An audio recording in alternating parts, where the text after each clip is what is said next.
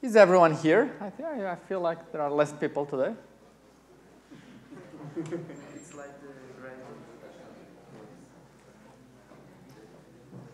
Are there still people uh, eating upstairs? No? Okay, very good. So, uh, very good. Obrigado, yeah. Uh, okay, very good. So let's get started. So here is a summary of uh, some of the things that uh, we have seen so far.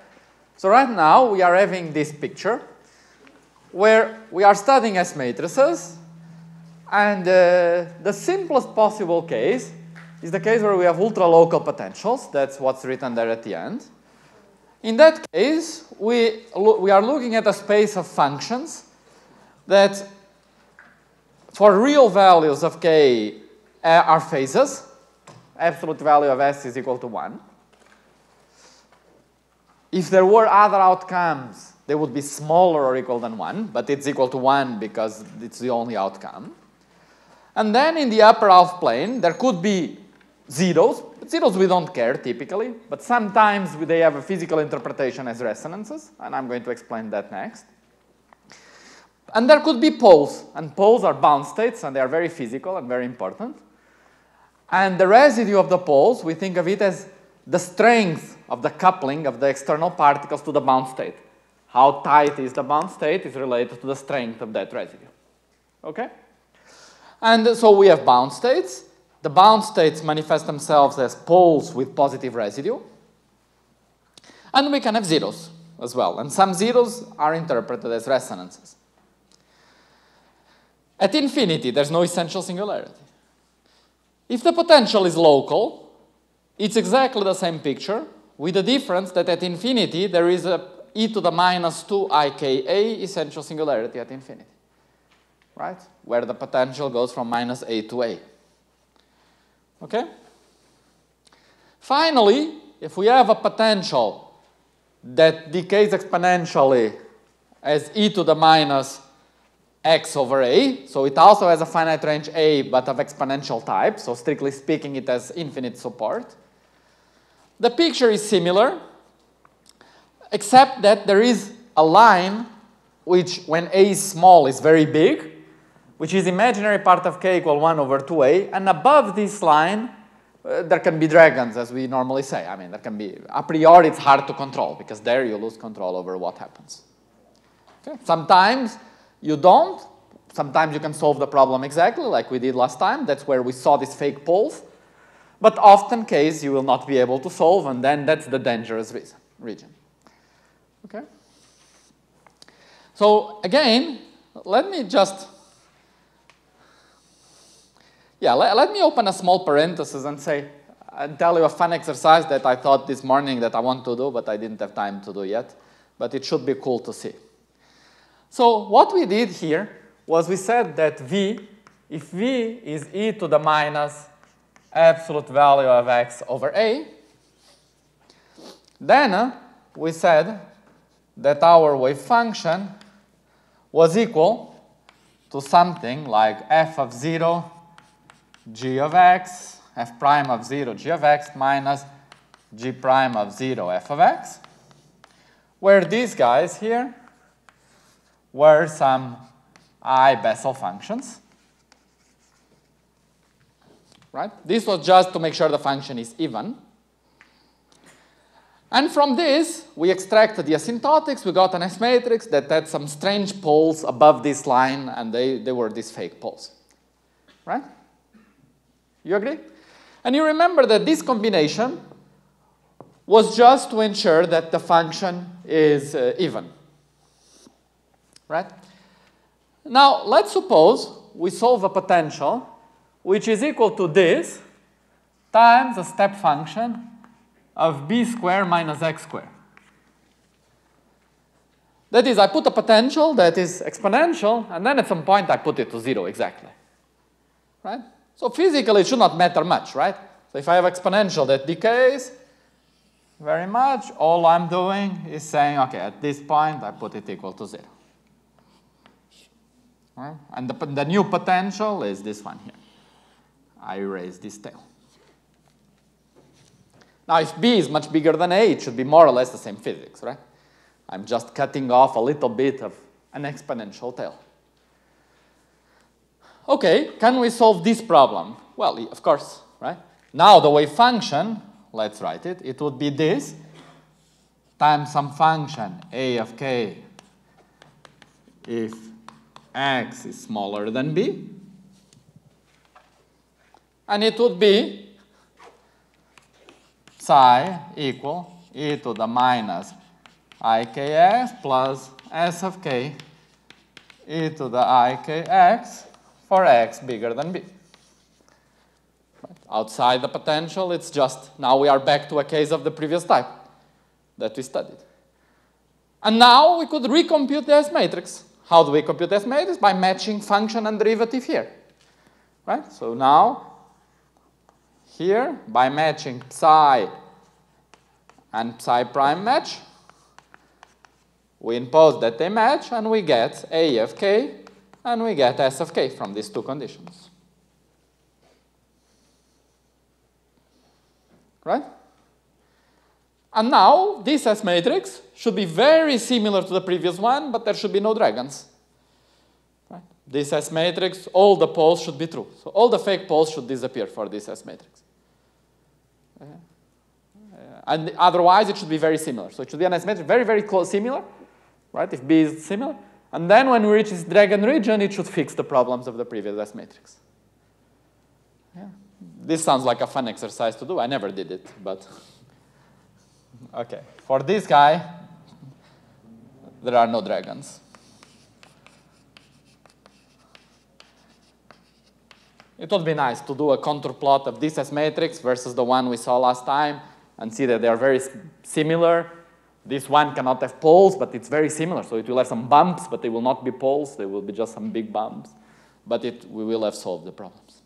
And so this is something you could, in principle, do. If you have some potential and you are a little bit worried and you know that, who cares? The physics A is more or less here, and I, put, I just shut it off at 10A, that probably is a good trick.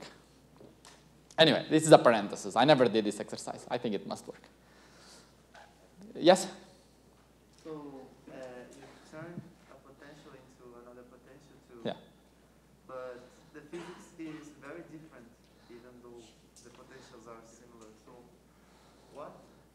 No, if the physics, of course, if I cut off the potential here, the physics is very different. The idea is that this is very small, so probably it doesn't make a difference. There are bound states, and the other is not bound states.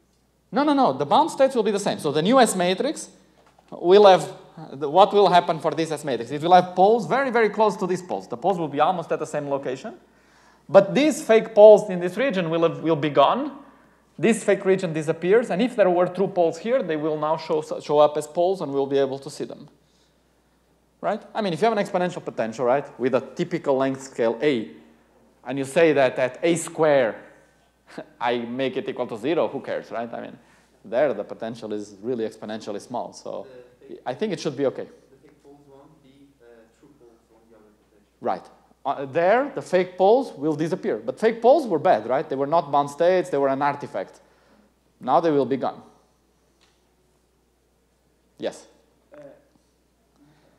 Again, this is something I, I did not do and I did not see anywhere. So I just thought of it in the metro coming here. So I think it will work. But if you see a flaw in this reasoning, you, you should, it, there might exist. It might be. I see a problem because look for the derivative. How can I put the derivative continuous in this case because in a general case I can have a continuous derivative.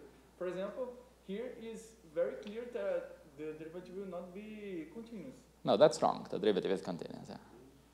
Schrodinger equation with uh, the derivative is continuous even if the potential is not continuous, right? I mean, the derivative is continuous for the well, right? The derivative here is continuous and the function is continuous. It's, uh, that's just wrong. No, my, my yeah. Mm -hmm. This situation we will fit infinite bound states. No, for sure, no, no, no. no. Because the S function had infinite bound states, but they were some of them were bad. So no, no, no, not some of them were bad. The infinite tower was bad. Yeah, so they, and then there were a finite amount of yeah, them. but if we don't have the dragon region and we have the same S matrix. No, similar S matrix.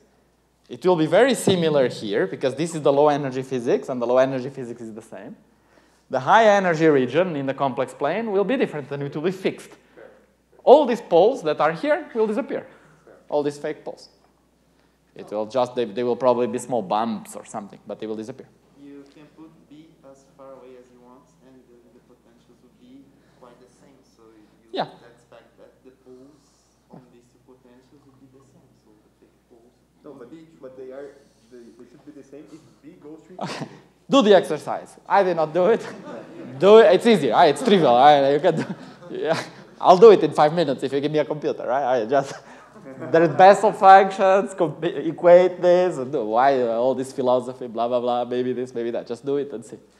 Do it and plot along the imaginary axis the function and tell me what you see. Uh, Pedro, imagine that we don't have, uh, we don't do this trick, Uh-huh. and we have the dragons, okay? Yes. Uh, these dragons have some physical interpretation or are just bad things that we cannot do nothing about it? Uh, I can. I think the short answer. I think they are bad things. Maybe sometimes no, but uh, for example, in the example we saw, it was just an equally spaced set of infinite number of bound states going all the way to minus infinity. I think that's just nonsense.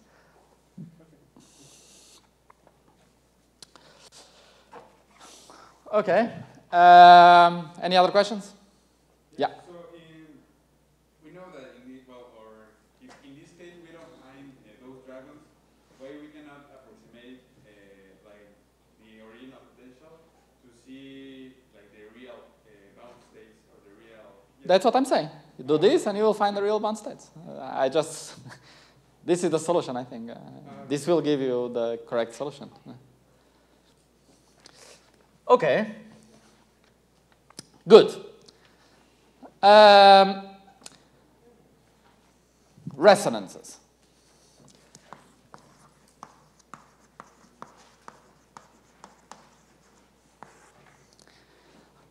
So let's suppose we consider the following potential.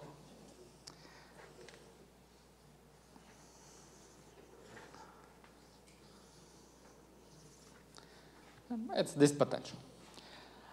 Now, this potential is always positive, right? There are no bound states, right? Potential has no bound states. You agree?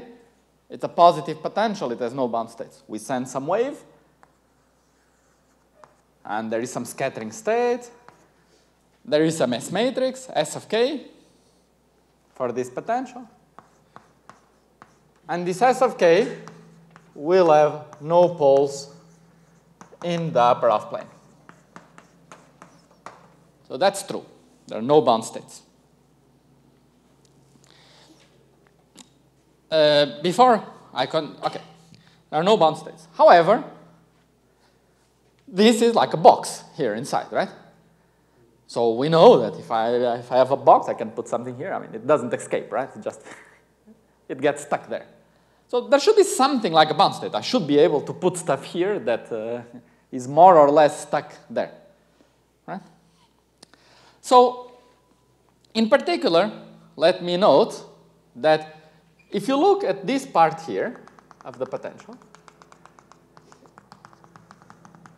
right? And if I were to transform this part into just this potential, right? Where I, uh, this part is this part, this part is this part. Of course, here, there are bound states.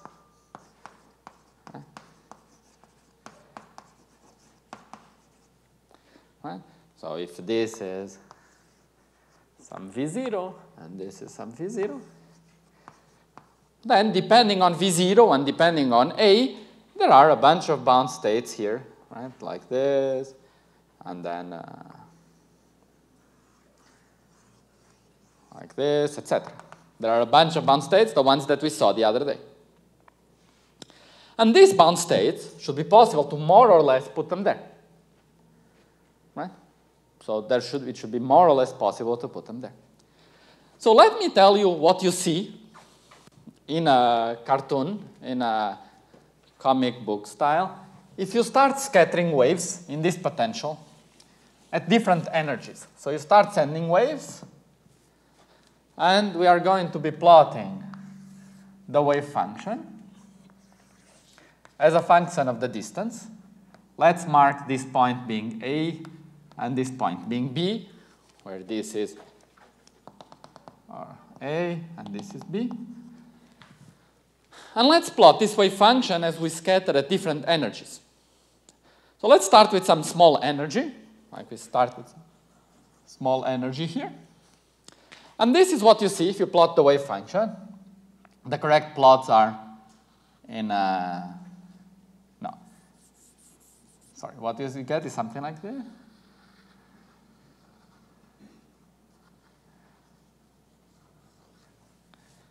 Something like this. If, then the better pictures are in, um, in, um, in the notes. And what we see, this would be, if I put some numbers, I can give you some realistic, I can tell you some parameters there. So, okay.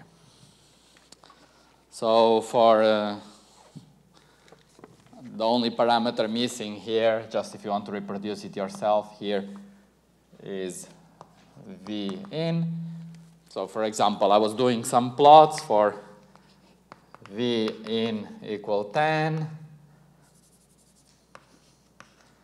this V0 equal 20, A equal 1, B equal 1.2, and that's it. Then uh, we start with some momentum K equal 5.6, and we get something like this. Then we go, we, do, we redo the same plot. Let me put these lines here. And we redo the same plot for k equal 5.8, and we get something similar. Then we redo the same plot for k equal 6.01, and we get something totally different. We get the wall, and we get the, and then some small oscillations here. Then we continue, and we draw something for k equals 6.1, say. And we get something, again, like we are seeing before. And then we continue, and later we do k equal, okay, some other k that I forgot which because I got some wrong, okay, that's not. And we get some nice thing like this, and then some small oscillations again. Okay, so I got all these numbers uh, wrong. This was k equal 4.6,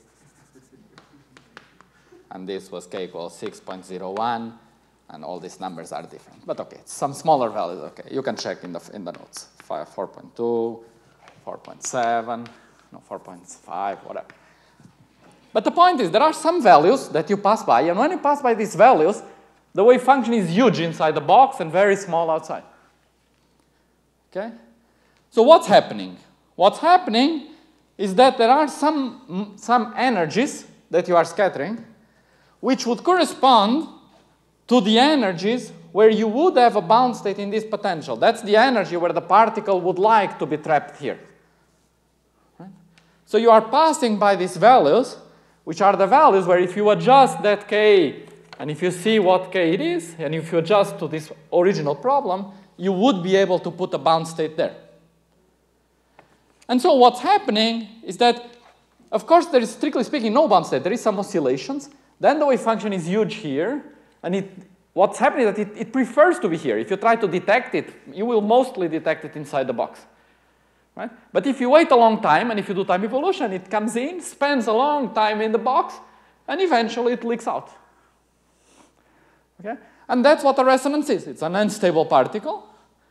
Yes, you can put it in the box. If the width of the box is very big, it will stay in the box. Otherwise, it goes there, stays in the box for a long time, and then decays. So if you were to plot something like the amount of wave function, the amount of psi inside the box, how would you do it? I mean, some integral of psi inside the box divided by some integral of psi in a length of, say, 10 times the size of the box, some, some quantity that gives you. What would you find? You would find something small and then some peak, and then small and then some peak, and then small and then some peak. Right? And this is how you detect particles. This will be a detection of a particle. You say, oh, this peak is like an unstable particle. Then the other peak is another unstable particle. Right? So that's how people detect particles. If you look at the plot of the Higgs, it's the same. There, And then a bump, and that's the Higgs. So this, it's a slightly more complicated experiment, but it's more or less this. Okay? So this is, this is what we would normally call a particle.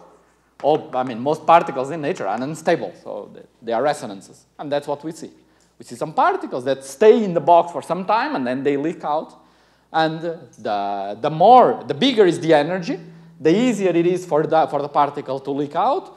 So these peaks will become smaller and smaller, indicating that they are more, less and less stable, and it's harder and harder to keep them in the box as the energy is bigger. Okay? Now, um, the claim is that if you compute the S matrix, and you can compute the S matrix, you will find that this, these guys, these energies, this case where there are these peaks, are precisely at, the, at this value where the function has zeros. Okay? So the zeros are precisely where you have these peaks and where the wave function likes to be inside. So to see it more explicitly, let's work out a particular example. I like this example it looks like a box, but there is a simpler example where we can do things much more analytical. That's also a reasonable box, right? You take the case where this is very thin and very tall, very thin and very tall. It's a, a particular type of box with two delta functions. So that's an example where we want to see these poles explicitly. So let's solve the case where the potential V is mu, maybe mu over 2, delta function of x minus a, plus mu over 2, delta function of x plus a. So the potential, it has some delta function, and then another delta function. And we'll take mu to be positive. So no bound states. So this S matrix has no poles. Well, we can solve it, right? Here the wave function is cosine, here it's two plane waves. We don't equate the function in the derivative, but we know the discontinuity of the, of the derivative now because it's a delta function. We solve the S matrix, and we find very easily the S matrix. And the S matrix is given by a very trivial expression, which is this k minus i um, mu, let me remove the over 2 so that I don't put typos, uh, and then 1 plus e to the minus 2i k a over 2, and then the same thing, the complex conjugate, k plus i mu, 1 plus e to the plus 2 i k a over 2. Okay?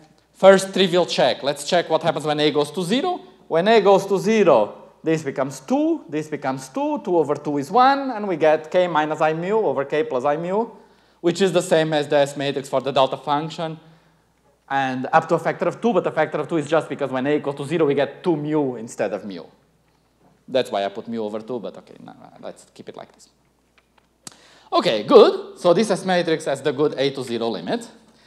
Let's see something, uh, something nice. You see that uh, first, when uh, k is very big and imaginary, this term dominates, so this is the famous essential singularity. So here it is again, as usual. So another example where we made a prediction that if the potential is finite range, this is case B, in the particular case where we have two delta functions, indeed, that's the essential singularity we get at infinity. So here it is in another, one more example. But what we want to look at are the poles. So let's look at the, the, the poles of this factor, which, as we know, correspond to zeros of this factor. So, yeah, the z- The essential singularity will always be e to the minus 2 ika, and for every potential, or is it just on DC? No, yeah, it's always always like this. If this is A, if this is 2A, then it's always e to the minus 2ka. It's universal. This is exactly the example, right? This is 2A. So, so let's look at these poles when mu is large. Because when mu is large, it's precisely when the delta functions are big, and we expect to be able to put bound states here in the middle.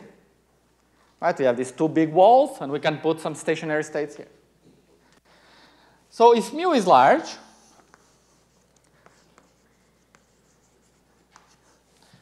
right? if mu is large, we see that there are the uh, poles. Yeah, if mu is large, there are poles at values approximately equal to e to the 2ika equal to minus 1. Right? If mu is very big, the poles are more or less at this location, right? Plus a small correction that you can and you are encouraged to compute. It's one of the exercises. And that means that the poles are at k equal to, uh, to iak equal to pi plus 2 pi n. Right? This is the approximate location. And what is this? This is, of course, just the usual quantization. If I put a particle here and I get this, this is the first state, and then uh, there is the uh, second state, or whatever, I to have to draw it. And all these quantized states are at this quantized momentum. Okay? Now, these are not exactly there. The correct location is k is approximately equal to this minus i over 2a pi plus 2 pi n. No, there is no, sorry, here there is an i. So 1 over this value, and then minus i times some small imaginary part. So the, the, the picture in the complex plane is precisely this picture. There are a bunch of poles and correspondingly zeros in the upper half plane whose location is approximately where you would put the stationary states. Now, the more energetic they are, the further away they are from the real line, which means that the, um, the less stable they are. And, uh, and that is the physical picture. So in the notes, I don't know if you can see from here, but I'm not going to draw. There is, here is a contour plot of the function. Can you see more or less from here? There are a bunch of points. And this is the same contour plot. There are a bunch of points, but here there is some garbage, up and down. You can probably not see. You can see in the notes. I can describe it by words. If you do the contour plot, there are a bunch of poles, boom, boom, boom, boom. And then as you go to I infinity, it also explodes. That explosion is just the essential singularity. If you divide by the essential singularity, then for the new function, you get just the poles, boom, boom, boom, boom, appearing in a nice location, and then nothing at infinity, or the zeros in this case. And so the physical picture that we have uh, is, uh, is complete now. So if we have particles that are almost stable particles, but not exactly stable particles, they are resonances. Most particles in nature are resonances. The Higgs is a, an example. It, uh, it decays, so it, it's a resonance. It's not really a bound state, but it shows up as a peak uh, in scattering amplitudes, exactly like there. These resonances, if they are there, they will show up as zeros relatively close to the real line. Poles will show up as poles in the imaginary axis, right? And uh, in the dragon region, there could be poles that are not bound states. And everywhere else, there can not, it's not guaranteed that all zeros have meaning of uh, resonances. Right? So we show that if there are resonances, they will typically show up as zeros. But it's much harder to say that if you have zeros, especially if they are far away in the complex plane, that they need to have a physical meaning. And in general, they don't. If, if your S matrix far away in the complex plane has some zeros, that, that's, that's okay. It, it, doesn't have, you can say, some people say it's a broad resonance, but it, it means very little. Okay? Sometimes it's, it, it, people fight. I mean, is this a particle? Is it a resonance? But okay. It typically is a particle, but when it's very far away, who knows if there are more zeros there. No one would call them particles anymore. They would be too unstable. Uh, are, are they the same particle? These zeros? No, no. In a scattering amplitude, the various resonances are different particles. Different particles. Because the location of the resonance tells you the mass of the resonance, the energy of the resonance, which is the mass of the resonance.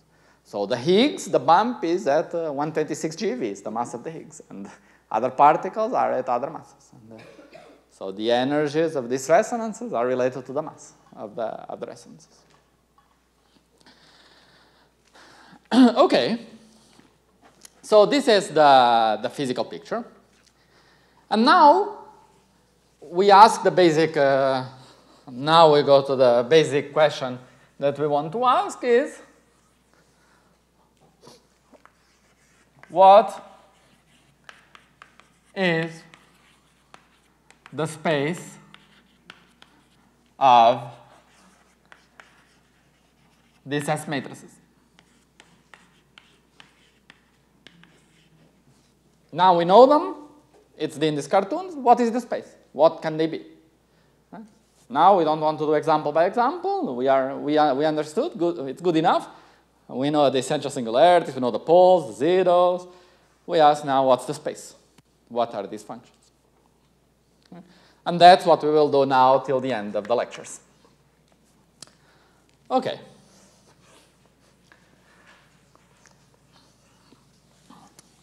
So the first thing I will do from now till the end, and uh, we will always do this, is relax the condition that absolute value of s equal to 1 and replace it by absolute value of x smaller or equal than 1.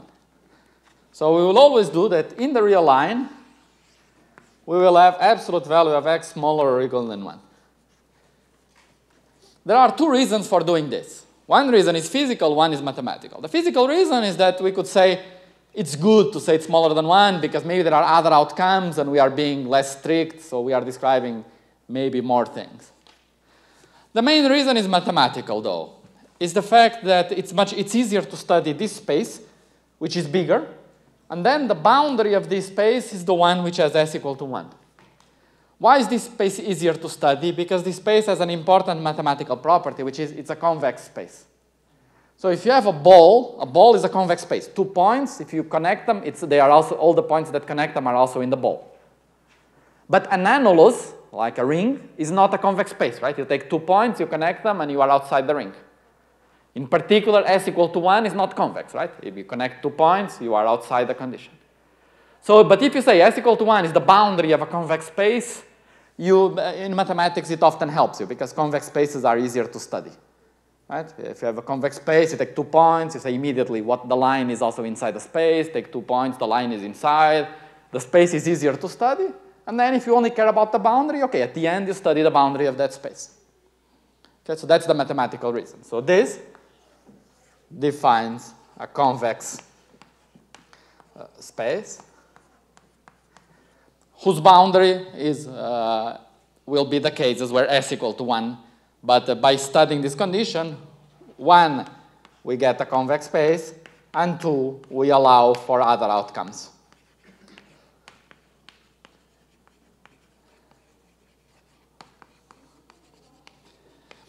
we will see that even though we impose this condition, in practice, we will saturate this equality, so it's, it's going to be okay. But mathematically, we will impose this as an inequality. Okay.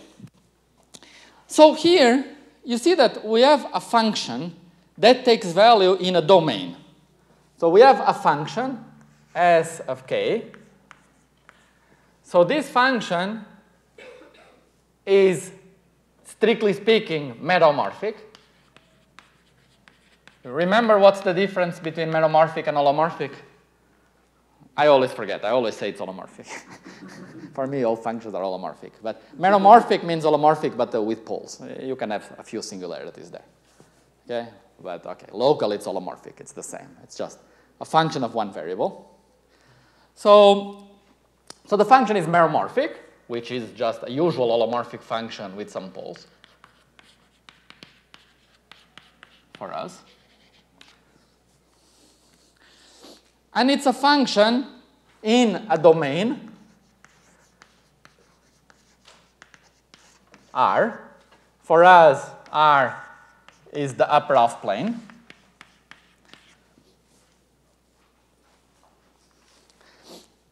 And, and now we are going to say, and there is a boundary of this domain.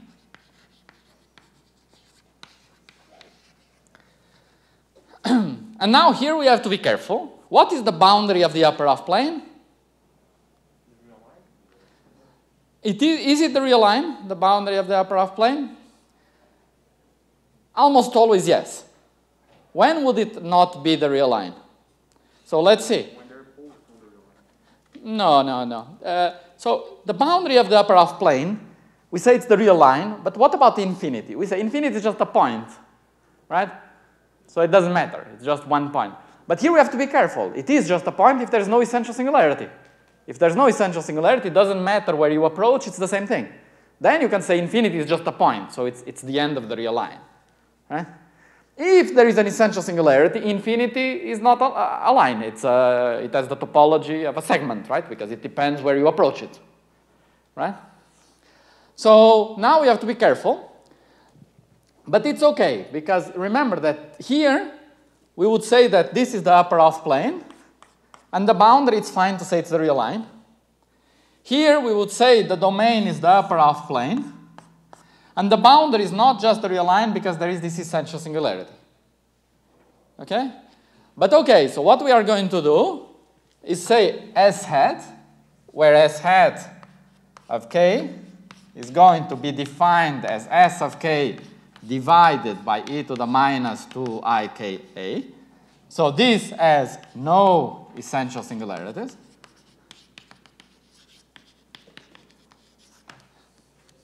For the cases A and B, let's first study this A and B first. And now we say that this S hat is meromorphic, and there is a boundary of this domain, which is, as you said, the real line.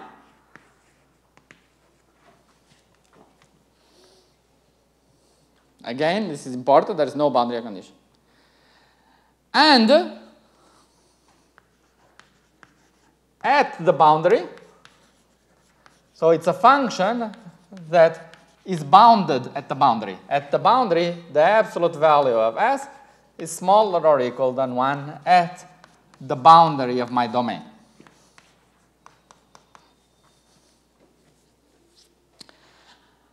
Okay, so this is the math. We are dealing with meromorphic functions in some domain where the functions are bounded at the boundary of the domain. And this is good news because there are very powerful mathematical results that we can use to deal with bounded functions. Okay? And that's what we are going to draw next. And now I will, so and the first one, and actually it's maybe the only one we'll introduce in this course, goes by the name of the maximum modulus principle. And the maximum modulus principle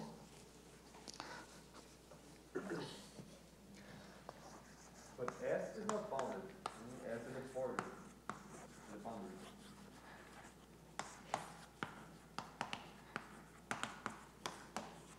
Sorry? S is not bounded. The, the S matrix.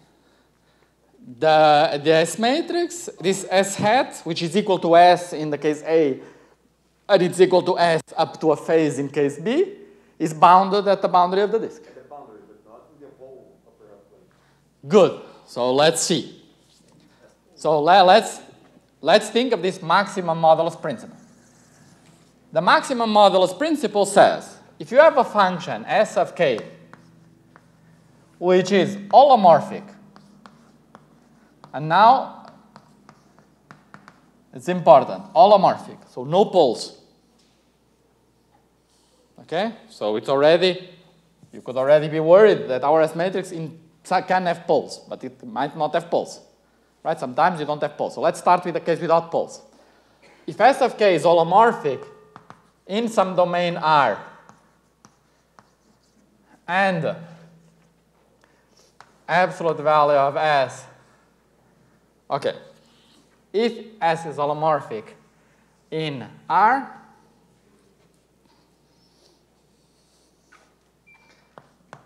it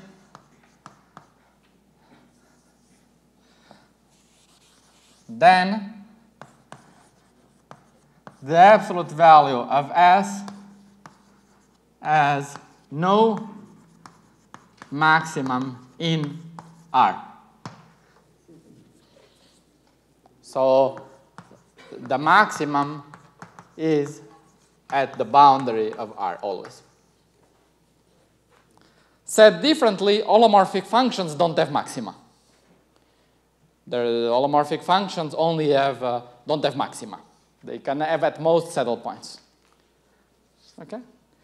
So this is a simple mathematical statement. How do we establish it, right? So this is equivalent to saying holomorphic functions have no local maxima.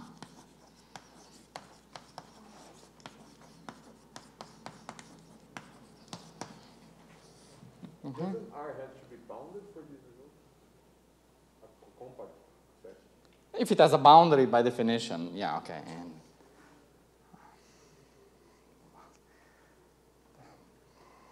what do you mean by bounded? Is the upper half plane bounded or not? Compact. Compact depends on what metric you put in. No, eh, the, the answer is no. If you have a well-defined boundary, the, the, the, this is still true. No, it doesn't need to be bounded. Okay, so how do we establish this? So we are saying that if you have some domain, right, any domain, can be Duff profile, whatever, it, you cannot have a point where the absolute value of S is maximum there. This doesn't exist. How do you establish this?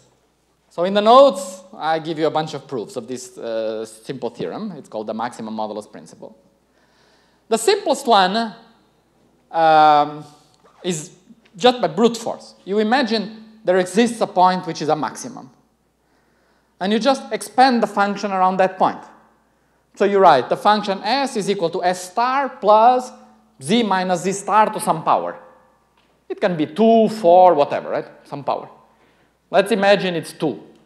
So you write s equal s star plus z minus z star squared or minus z minus z star squared. Then it looks like there is a maximum. But that's in one direction. In one direction, it's a maximum. But if you go in the i direction, perpendicular, now it's a minimum, right?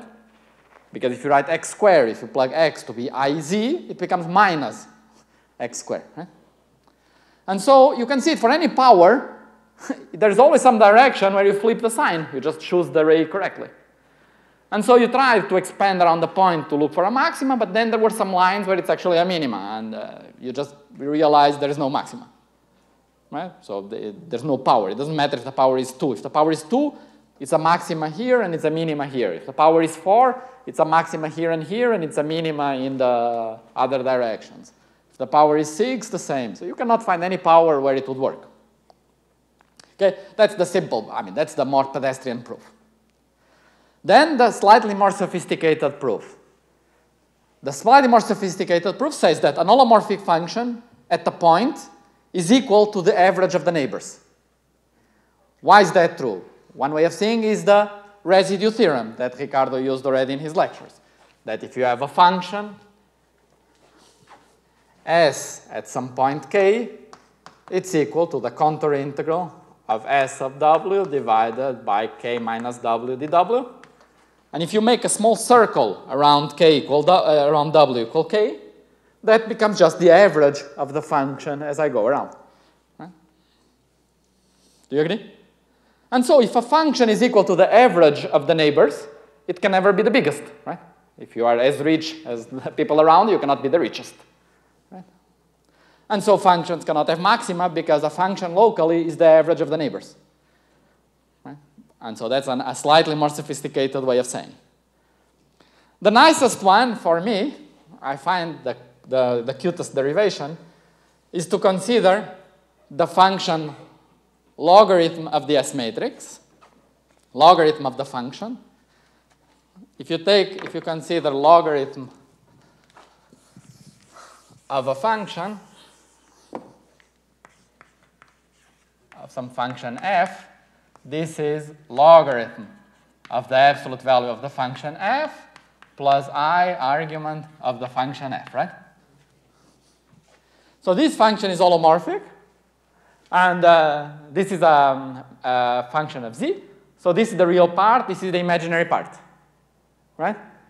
And you know that the real and imaginary part of a function of z uh, obey uh, the diffusion equation, right? So you can think of them that this function log of f is like the stationary state of the heat equation. Right? So having a maximum would be like saying that I have a two-dimensional oven and there is a point which is the hottest inside. Right? But that cannot be. It's the hottest, temperature will diffuse. So in a two-dimensional oven, the walls are always the hottest uh, places right? because of diffusion. Okay, that's a more sophisticated argument. But uh, it's cute that uh, you can have this simple physical intuition and get to the same result. Okay, good. So, so we have this statement that if our function is, if you have an holomorphic function, then uh, the function, uh, the maxima of the function is at R. And so now we could start trying to apply this technology to our S matrices. So let's start asking some question about some S matrices. So let's say, let's start asking our problem, bootstrap problem number one.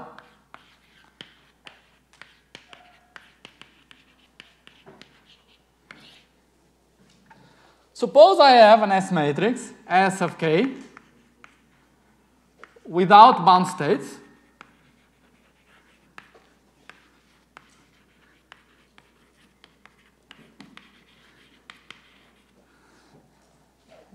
for case of type A, where there's no essential singularity at infinity. Right? Okay? Then let's consider S at some value, I kappa. Now, S at I kappa is real. Always. Right? Why? because we said there was a, a, a, conjugation symmetry around k and minus k star. So in the imaginary axis, S matrices are always real. So this is a real number, right? There was a symmetry around the reflection around the imaginary axis, right? Remember that S here is the conjugate of S here. So S in the middle is real. So this is a real number, right? So this we define as alpha. And we ask, what is, say, the maximum number, the maximum value alpha can take? That's a way of parameterizing our S matrices. We take one aspect of the S matrix, the value at some imaginary point, and we ask how big can it be for any S matrix. Okay, so that's a first problem we could solve, trying to use this th mathematical theorem. Well, the function is holomorphic. It has no bound states, so it's an holomorphic function. It can have a bunch of zeros, perhaps, but there's no poles because there are no bound states. There's no essential singularity, so we know the boundary. And so we have a function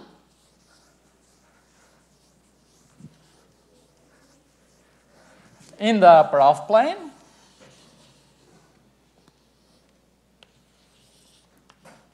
that is smaller or equal than 1 at the boundary. And then we want to ask what is the value of the function here. Right? But the function has no maxima. Right? So the function being bounded at the boundary implies that s is smaller or equal than 1 in the full upper half plane.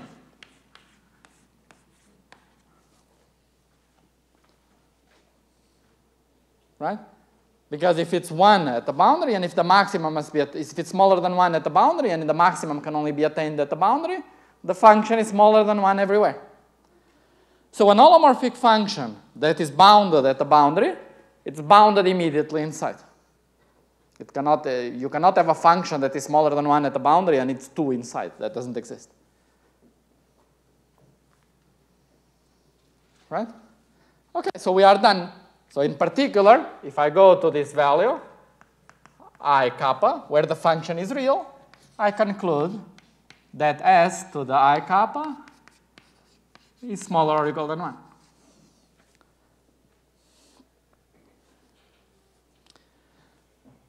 And what function would saturate this bound? What S matrix would saturate this bound?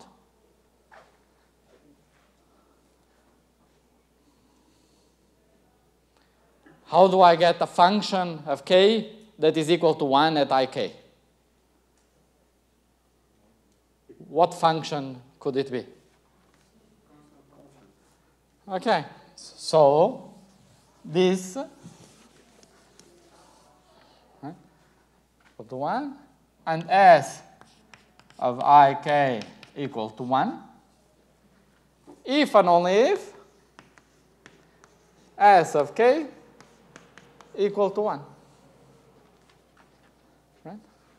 Because if the function is 1 at, uh, in some point, right, which is equal to what it can be at the boundary, then it better be constant everywhere. Right? Otherwise, it would be uh, we would reach a contradiction.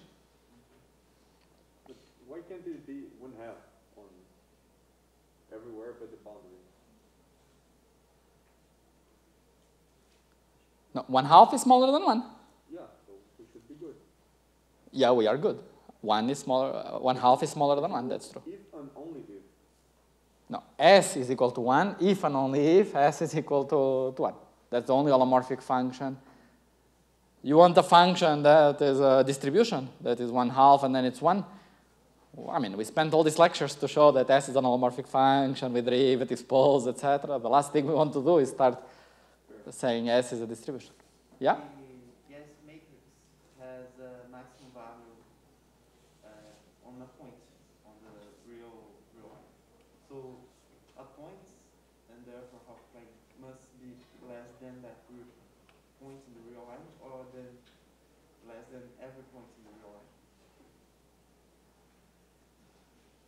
Uh, so the absolute value is smaller or equal than 1 in the real line, right? So uh, the function inside can never be bigger than 1. Do you agree? That's all we are using.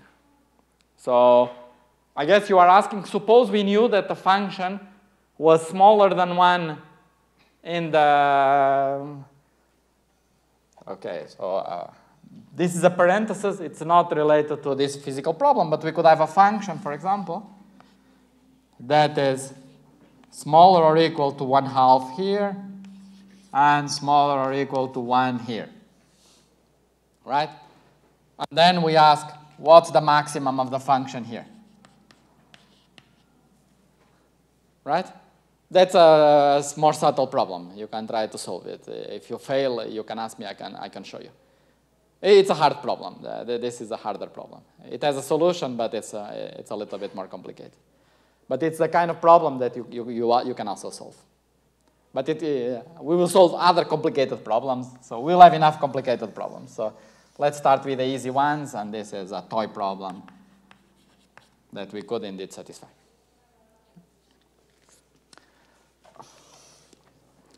But here, you see, a priori, you know the function here cannot be, uh, uh, cannot be bigger than 1, but it can be bigger than 1 half.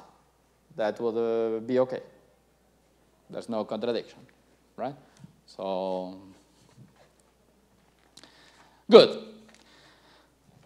And so we find that this space of S matrices, if you parameterize the space by this alpha, it's one coordinate in the space of S matrices, and then the boundary is at alpha equal to 1, where we reach one S matrix that is at that boundary, which is the S matrix S equal to 1. And that, that's nice. That's a very physical theory. What is the theory that has S equal to 1? It's just the free theory. Right? The free theory of the, so this is just the free boson.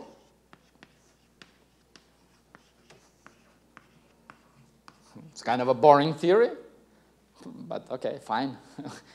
At the boundary lies the free theory. Then you go inside and you have the interacting theories. Okay, so this would be a first uh, problem we could uh, solve. Let's go now and ask for a more interesting problem.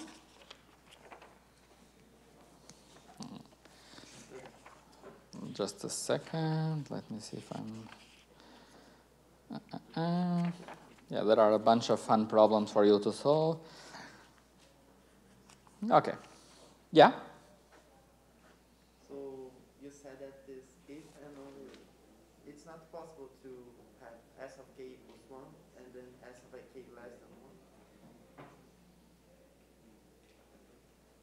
Sorry, it's not possible to. This is a function of k. The constant function is the constant function.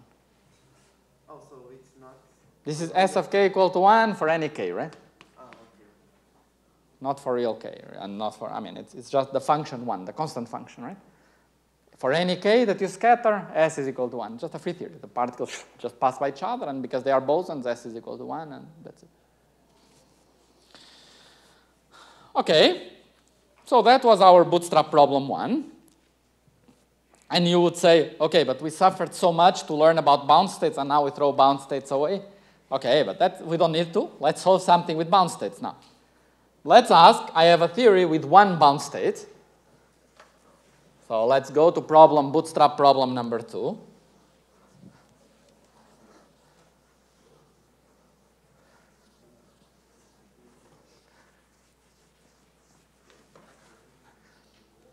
Okay, so bootstrap problem number two. Let's suppose we have S of k with one bound state at k equal i kappa. Let's still stay, let's still say it's of type A. And it has with a coupling, let's, in, let's stress this notion of coupling to the bound state.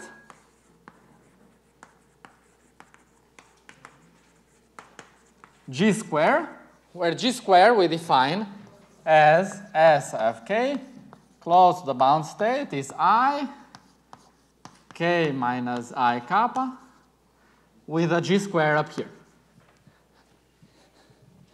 Remember that this was positive, so it's, it's a good idea to call it g square. It, right? g square is positive. And so this g square measures the coupling to this bound state. And now we ask g square, what's the space? So we know it is positive, and we want to know what sits here. How big can this coupling be? If you have a theory with a single bound state, what is the answer to this? Okay, so today we will not solve anything with dragons, so I'll erase the dragons. Tomorrow, or rather on Friday in my last lecture, we will solve one problem with dragons. Dragons are really tough. There's not much I know how to solve with dragons, but we'll solve one problem. But for now, today we'll stay with bootstrap problems of type A and B. And now let's continue here. And so how would we solve this problem? Now, this function is not bounded, of course, in the upper half plane. It has a pole. Right? At the pole, I mean, close to the pole, it's a million, right? I mean, the function is not bounded. Another way of saying is that the function, the boundary of the domain, if I think, what would be the natural, natural boundary of this domain? You could say the boundary is the real line plus a small circle around the pole. Right? If you want, you exclude a small circle.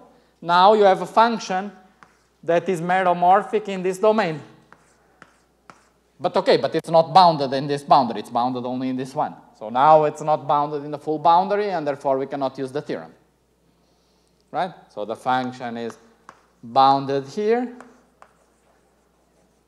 but it's not bounded here.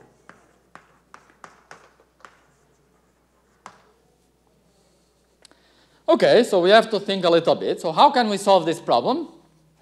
Any, any suggestion from those that did not read the notes yet? So how, if you have a function that has a singularity and you would like it not to have a singularity, what do you do? You could exclude some region. That, is, that has this problem that I discussed there. That uh, now that the boundary of that region, things are not bounded, so it's a bit tricky. We do an expansion uh, where we could do an expansion around the pole, but that we did already. I did it here. I get this plus dot dot dot. Fine, that's how we define g squared. But we want to know how big can this g squared be.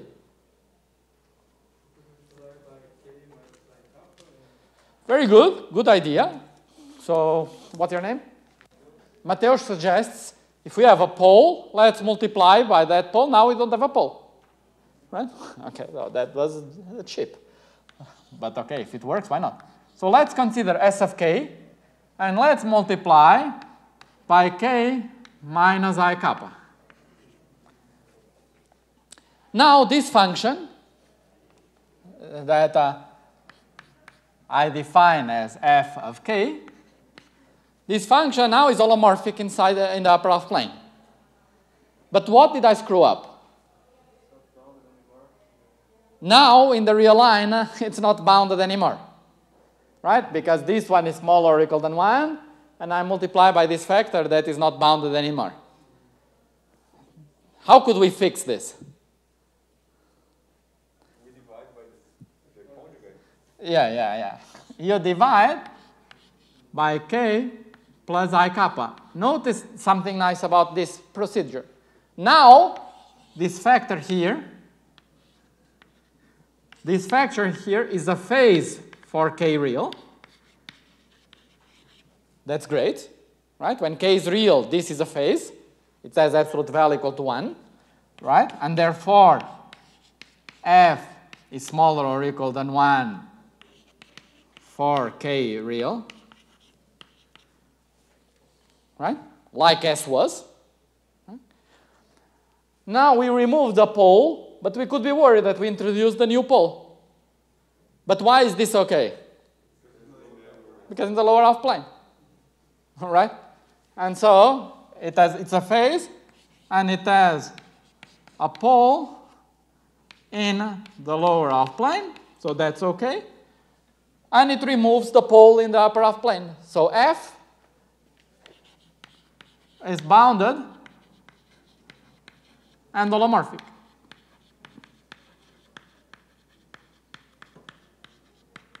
We solved both problems. Right? So this function f now is smaller or equal than 1 everywhere.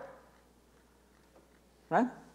F now is uh, smaller or equal than 1 at the boundary. There's no singularity in the domain, so it's smaller or equal than 1 everywhere. Right? And so we conclude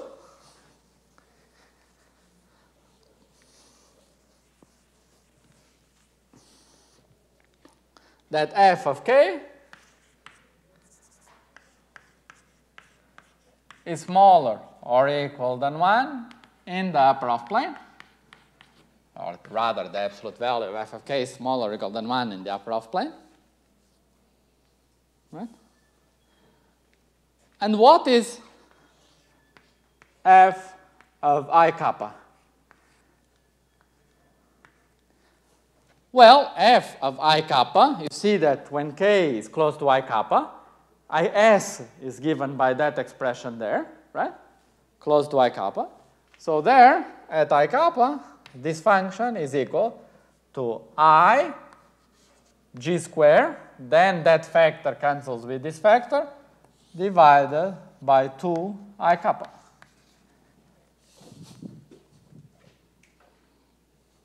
Do you agree? And so the i's cancel. We get something real, as it should be. And this needs to be smaller or equal than 1. Right? And, though, and so we conclude that g squared is smaller or equal than 2 kappa.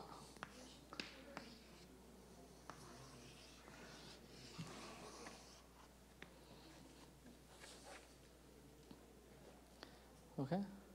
And so the space of theories, our space of theories with a single pole, now we have a more interesting solution. If we plot g squared, here is 0, and here is 2 kappa. Uh, let me maybe plot 2 kappa here. And then the claim is that this region here is possible, is allowed. And this region here is forbidden.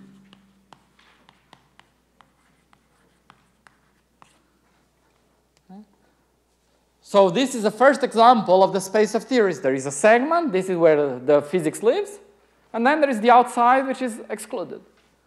Right? Okay, this is excluded also, but in more trivial way. Right? So this is forbidden as well.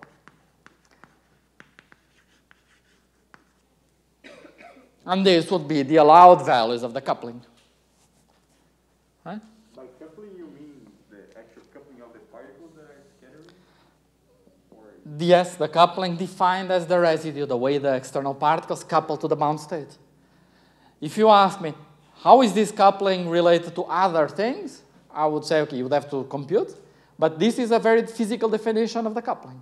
It's really, you go at a physical object, like the S matrix, you measure the residue, which is like the way it couples, the particles couple, and that gives you a very physical definition of the, of the coupling. Right? Now, this coupling, of course, is related to the parameters of the fundamental theory in some way. You might want to work it out, but that depends on the theory. Okay, so this is the space of theories. And like before, we could ask what theories saturate the bound? Right? What theories lie at the boundary?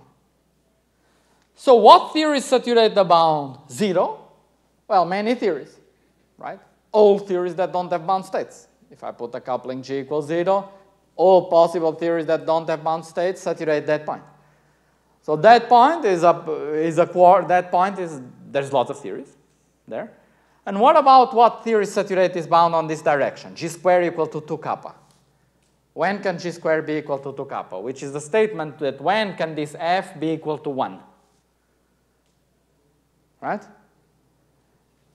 F is smaller or equal than 1. If it's 1 at the point, what does it mean?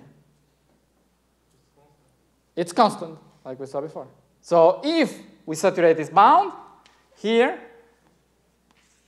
we get equal if and only if, like we saw before, this f of k equal to 1. Right? But if f equal to 1, what is s? It's just the inverse of this factor here. Right? And so that means that at this boundary, this matrix S of k is equal to k plus i kappa over k minus i kappa. What theory has this S matrix? The delta function potential.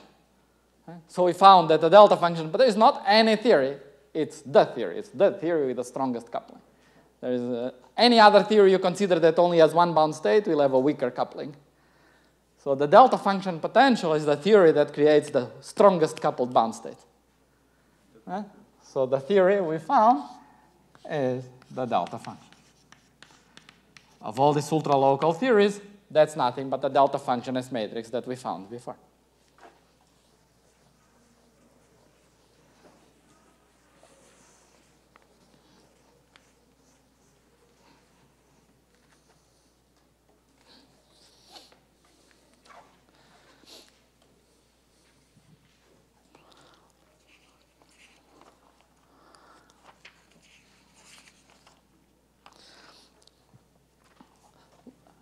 The remaining two minutes, because it's very easy, let's solve another bootstrap problem related to this one. Which would be the same problem for case B. Single bound state, same question. What's the allowed value of the coupling? What's the answer?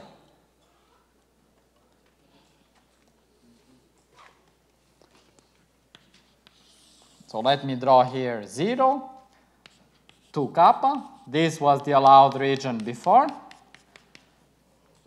But now we are in case B. So how would this change? What would change if you go to case B?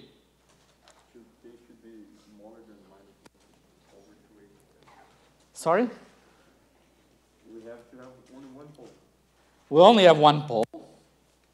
Right? We are in this case. Right?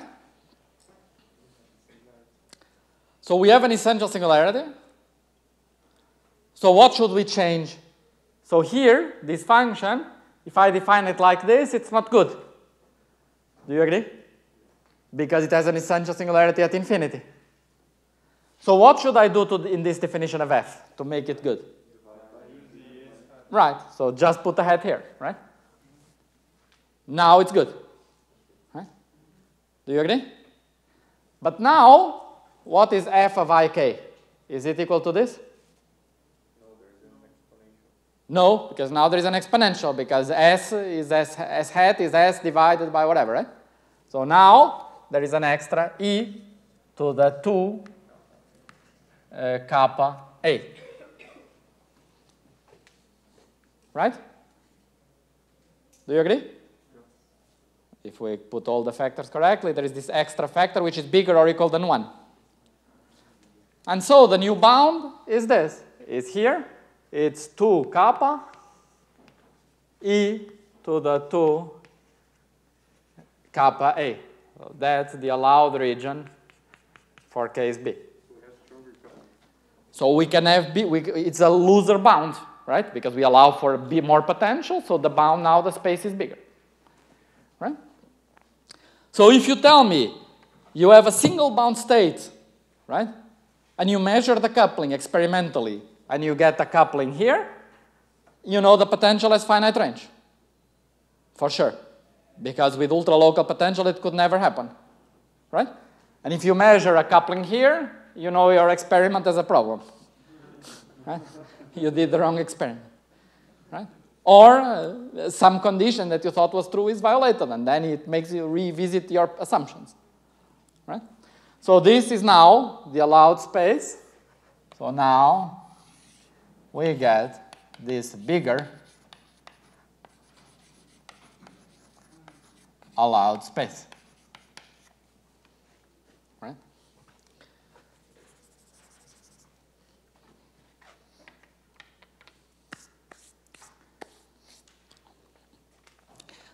Next time, we'll consider the following two problems, the following class of problems. So let me just tell you the problems we are going to consider.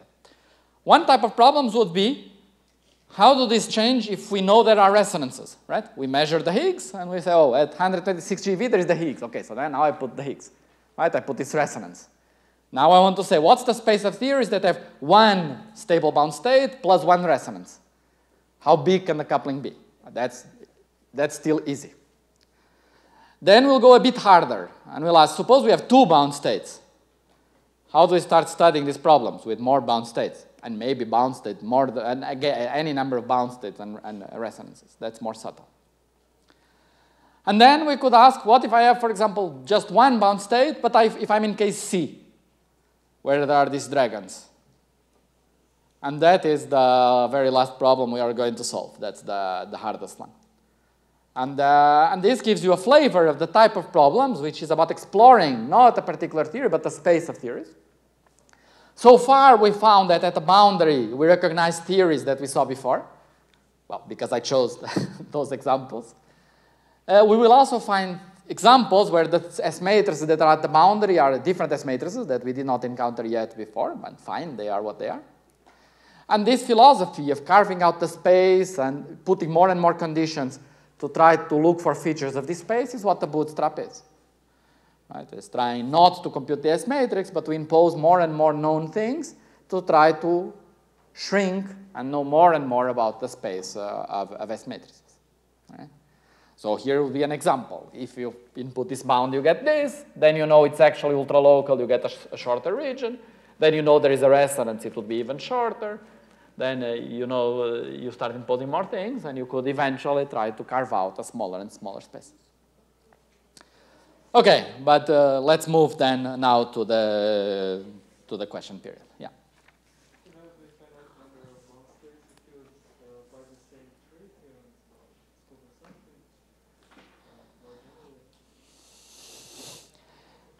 So the question of uh, Mateusz is, if I have more bound states, okay, now it's trivial, right? Just put a bunch of factors, right?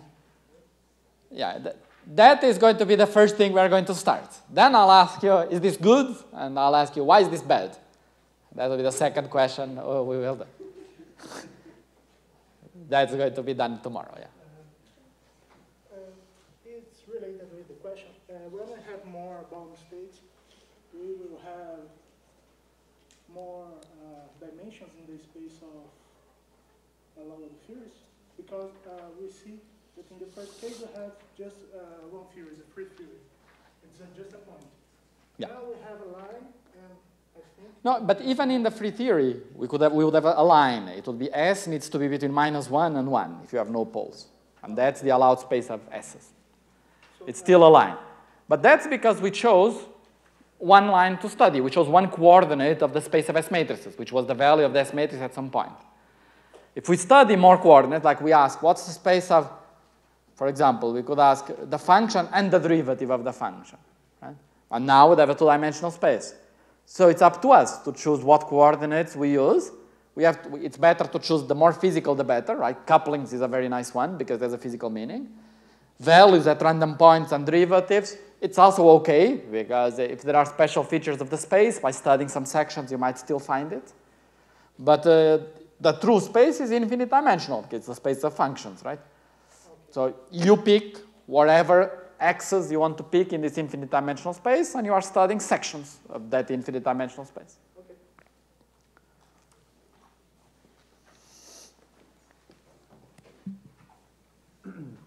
Yeah, I have a question about resonances and particles.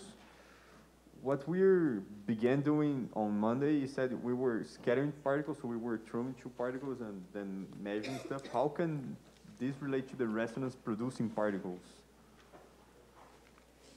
Uh, so all we are doing in this course is sending particles and receiving particles. Now, when there is a resonance, like an, a, something that's almost a bound state, what happens is that you send the particles in, and they will spend lots of time in the box because they, they, they almost form a bound state, but it's not really a bound state because uh, it's not. It has a very long lifetime. Eventually, it gets out, and we measure it, right? Yeah. But we do see a bump, and the bump is the particle spending lots of time there. And uh, that's how we detect that there was a particle there. How do we interpret what was going on physically? Physically, we draw these pictures like Junwoo was drawing. The two particles go, they form a resonance, boom, boom, boom, boom, boom, boom, boom, and then the resonance decay, leaves the box, which is decay. Okay, so, So that's an interpretation of the picture. We just say the particles come in, then they form this resonance, and then the resonance decays again. That's the cartoon that describes what I just said. Particles go in, stay in the box, and then they leak out. This is what's called the Feynman diagram. It describes these particles going in, forming this particle, and decaying.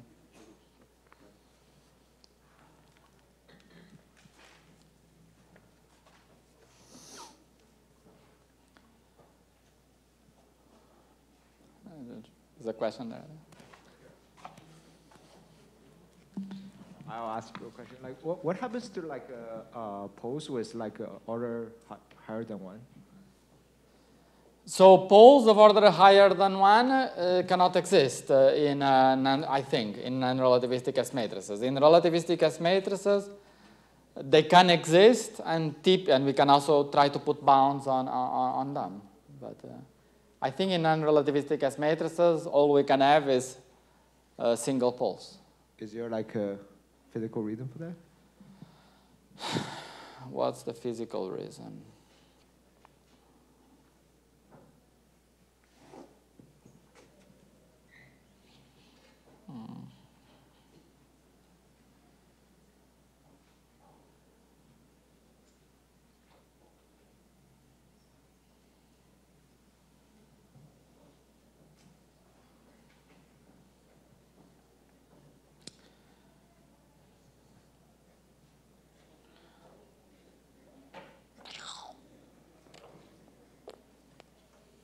I don't see right away, but uh, I can give a short, uh, I don't think it's a very satisfactory answer, but uh, so if you have a process like this, uh, where uh, you have this loop diagram where the particle splits into two and so on, and then you try to study the singularity associated to a process like this, if you, are in, if you have a loop integration here, L, which is two-dimensional, and you put these guys on shell, pong, pong, pong, you have three delta functions, and you have two integrations. So in total, the discontinuity, if you count delta functions and uh, integrations, you find that in this type of diagrams, you can get higher order poles. And the point is that um, this type of diagrams, this type of loops that you need to get higher order poles, uh, in non-relativistic theories, they don't exist. Everything that exists are bubbles and stuff because you don't have antiparticles. So you don't have honest stuff where some particles are going to the past and some going to the future. Some lines are collapsed and all you have are bubbles. And uh, therefore, all the type of processes you have that you would have in non-relativistic theories where you could have particles moving to the past and to the future, they get collapsed and you're going to get bubbles and bubbles only produce single poles. But that's a very perturbative argument. I don't, I would have to think a little bit more. But uh, yeah. Thanks. Uh, yeah. But you also have that equation that was the derivative of the S matrix divided by the square equal to a positive part. That equation, that equation also tells you that you only have simple poles, right? Because otherwise, if you have a higher order pole, Good point. Good point. Yeah, yeah, yeah, yeah. That's also that's also good. As Siddhartha points out, yes, we have an equation for s prime over s square equals something, and s prime over s square would blow up uh, if it's a higher order pole, and it's constant for a single order pole. That's a cleaner answer. Yeah, better, much better. Thanks. Good point. Did people get it? Right? We had an equation s prime over s square equal blah blah blah blah blah. Right? It was how we used to show that the residue was positive right? It was an equation. S prime over S square equal, plus a bunch of terms that we could ignore equal to something, right? But for that equation to make sense, if S prime over S square, if there was a higher order pole, that term would explode. And uh, now we could not make sense of the equation. And so it can have single poles, but not more.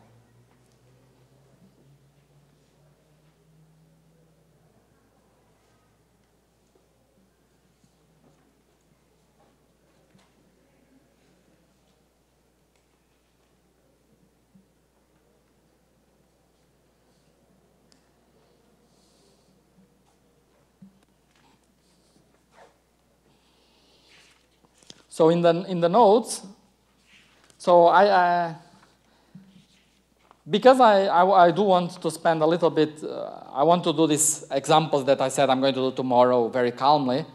Um, I jumped several examples in the notes that you are encouraged to, to have a look if you want, where I have many problems to stop problems like this ones for when the bound when the domain is just the unit disk and the boundary is just the boundary of the unit disk. And then you can ask uh, how big can the function be in the origin etc and uh, you can have some fun solving these problems. You can also ask questions about some of the problems if you have uh, we have five minutes. Is there any relation between the zeros, uh, the resonance, and I, I don't know propagators of particles? Um, there is, uh, but uh, I would rather not go there because I mean, uh, most people don't know what a propagator is. It's a bit out of the scope. Uh, it would oblige me to use some language that.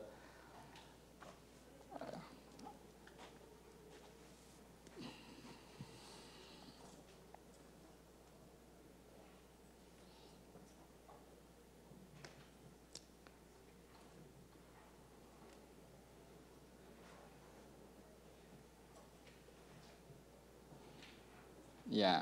Uh,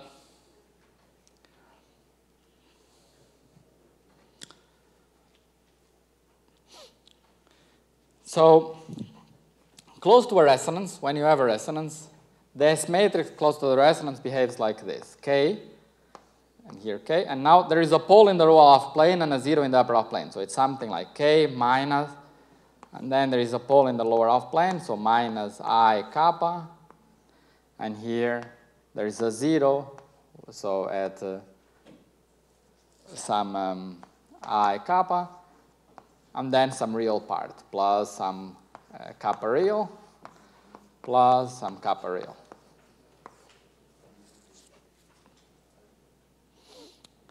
And um, so this imaginary part is related to the lifetime of the resonance.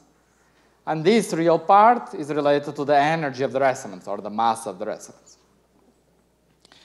And so in quantum field theory, often what happens is that this resonance starts its life as a stable particle, and the propagator is just 1 over k minus kr. And it looks like a propagator pole. But then, as you sum Feynman diagrams, you resum Feynman diagrams, and you recognize that that pole that looked like just a propagator pole, 1 over k minus kr, actually the next term is something like i kappa 1 over k minus kr square when you start doing Feynman diagrams, plus dot, dot, dot. And this resums into something that actually has no pole in the real line. It couldn't because it was bounded, so it cannot have poles in the real line. But actually, it resums into something like this, some geometric series where kappa becomes just a lifetime. And so, so yes, there is if the, if the particle, if kappa is small, you recognize right away that that's just a propagator for a resonance of some given mass. And this imaginary part typically doesn't come at uh, tree level. It never comes at tree level. It comes not from a single propagator, but from a resummation that tells you that this propagator is actually unstable and there is an imaginary part. And that pole that in perturbation theory starts in the real line is pushed to the imaginary axis. That was the same in quantum mechanics. If we start with double well with mu huge, we got that k was real. It was this alpha integer case. And then if we do a perturbation theory in 1 over mu, which you could develop some Feynman diagrams for it, that perturbation theory kicks the poles to the lower half plane and says, no, no, no, it's not exactly k alpha integer, it's k alpha integer minus a small imaginary part. And you could draw some propagator diagrammatics for that mu, 1 over mu expansion if you wanted, and you would see that nicely. Thank you. Right.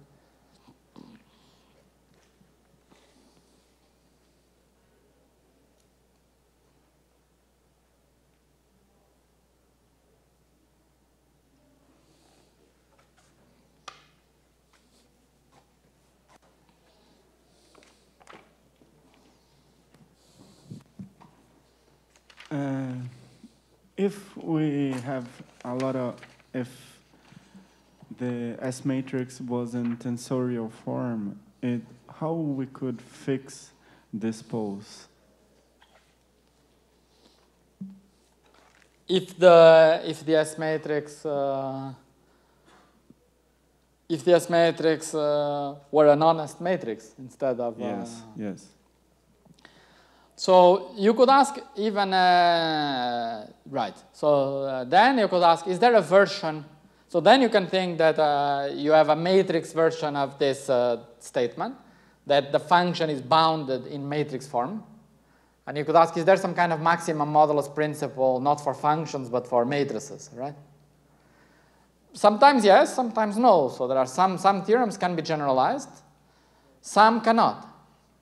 And when they cannot, you could ask, how could you go on, right? Because here we could solve things analytically. So maybe another way of asking your question is, could we do this numerically so that we can generalize it to more complicated cases? That's something I'm going to explain tomorrow. So, so, so far, we came up with clever tricks. We saw, oh, let's do this, multiply by this factor. But you could ask, how could I solve these problems numerically? Because then I could solve more complicated problems, like when I have particles of different types and uh, I just have more inequalities, because some of those cases can only be done numerically. So it's not always true that you can just use some nice theorems in complex analysis and solve things uh, analytically. Especially when you go to higher dimensions, when things will no longer be just a function of one variable, the energy, but they will also depend on the angle of scattering, for example. And now functions of two variables, they are not twice as complicated as functions of one variable. Functions of two variables is much more complicated than functions of one variable. And there you really need numerics. And with, if we had multiple poles, we done this trick a lot of times like this. Now that's what already uh, asked. Uh, uh, if I have two poles, why can't I just multiply this by two factors and, uh, and that's it? And uh, it almost, it, it, looks easy, right? What could go wrong? Can, since people are asking me this question a lot. So why wouldn't I be able to just multiply? So what could go wrong? Let's try to see. One, is it holomorphic? If I multiply by two poles, did I make the function holomorphic or not yet? What do you think? Am I good? Is it holomorphic or, uh, or not? Who thinks it's holomorphic? Who thinks it's not yet holomorphic? If, why do you think it's not yet holomorphic?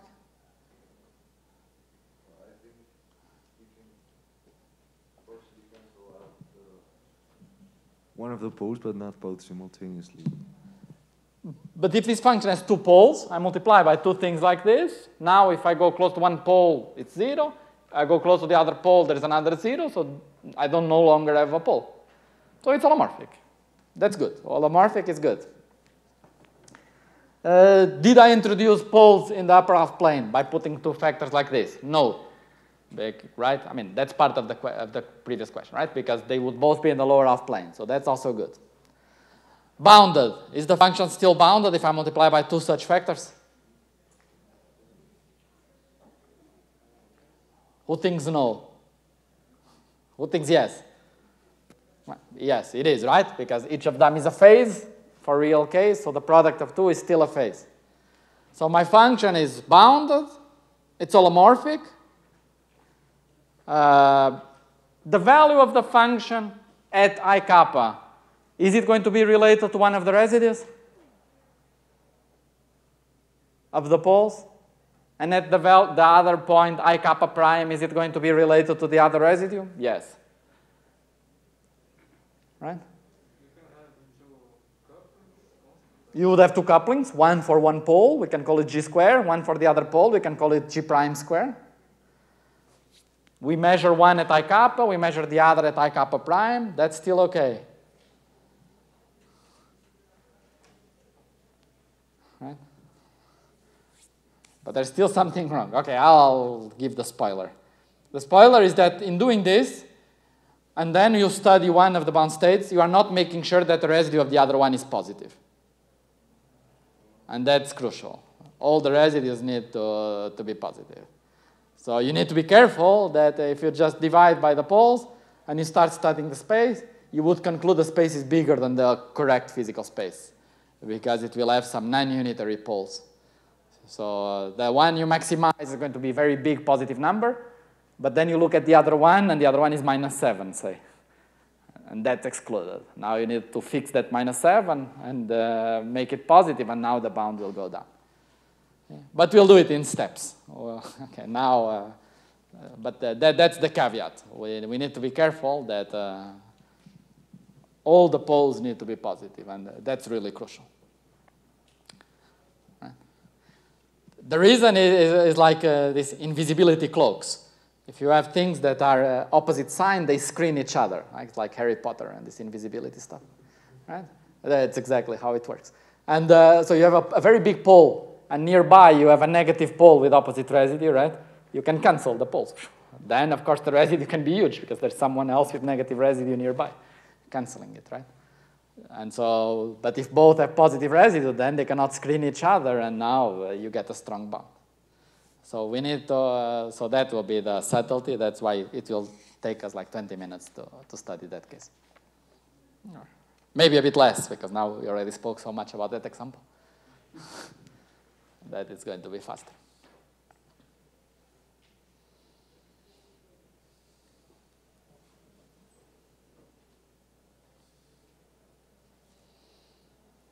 Okay, I think it's a good time to go for lunch. Okay.